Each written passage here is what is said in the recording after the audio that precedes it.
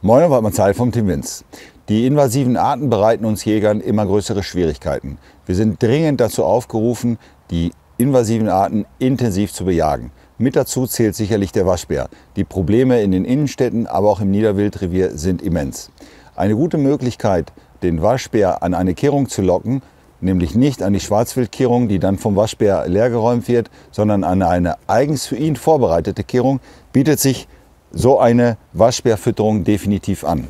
Jeder weiß, wie geschickt die Waschbären sind und die Fütterung ist so konzipiert, dass Waschbären diese nicht zu leicht öffnen können.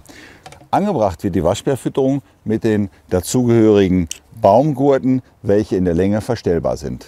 Die Anbringung ist wirklich denkbar einfach und zum Transport der Fütterung gehört ein Kunststoffbeutel dazu, welcher allerdings eigentlich nur zum Ersteinsatz gedacht ist.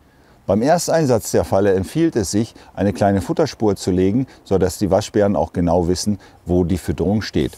Befüllt wird die Fütterung anschließend mit Mais und der Waschbär kann lediglich durch diese kleine Futteröffnung den Mais aufnehmen. So ist garantiert, dass nicht zu viel in einer Nacht gleich im Magen des Waschbären verschwindet. Damit anderes Schalenwild nicht an die Fütterung gelangt, montieren wir die Fütterung circa in Kopfhöhe. So ist garantiert, dass auch das Schwarzwild nicht an den Mais in der Futterröhre gelangt. Der verwendete Kunststoff ist nicht nur witterungsbeständig, sondern auch stoß- und schlagfest.